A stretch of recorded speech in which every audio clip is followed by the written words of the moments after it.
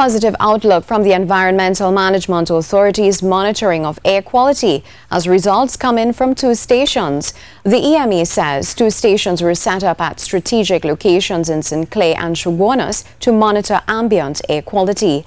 It has been confirmed that the air quality at those locations are at an acceptable level as it conforms to the air quality standards outlined in the 2014 air pollution rules. The ambient air quality monitoring stations established since October 2015 continually monitor ambient air quality for pollutants such as particulate matter, carbon monoxide, nitrogen dioxide, sulfur dioxide and ozone.